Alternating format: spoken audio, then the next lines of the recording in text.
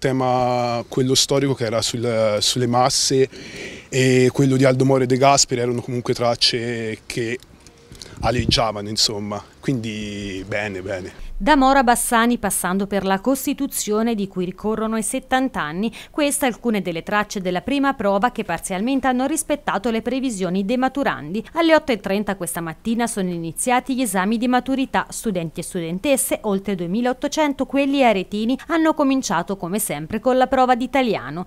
Per essere la prima dura, dura, però beh, si devono fare, si fanno. Per l'analisi del testo è stato scelto lo scrittore Giorgio Bassani con un brano del Giardino dei Finzi Contini incentrato sulle persecuzioni razziali, il principio dell'uguaglianza nella Costituzione italiana e la cooperazione internazionale per il tema storico con un focus sugli statisti Alcide De Gasperi ed Aldo Moro, l'amore e la solitudine della poetessa Alda Merini per la prova di arte ed infine creatività e la dote umana dell'immaginazione, le masse, la propaganda ed il dibattito bioetico sulla clonazione, le tracce del saggio breve breve? Io ho scelto sempre il saggio breve per la tipologia storico-politica. Volevano far riflettere sulle tematiche attuali, su come viene utilizzata la propaganda del timore e su come viene utilizzata la massificazione nell'era della globalizzazione. Ho scelto il saggio breve di argomento artistico-letterario, quello sulla solitudine. Poi esclusione perché c'era Pirandello e mi piaceva molto. Domani sarà invece il turno della seconda prova scritta ed infine il 25 luglio della terza prova.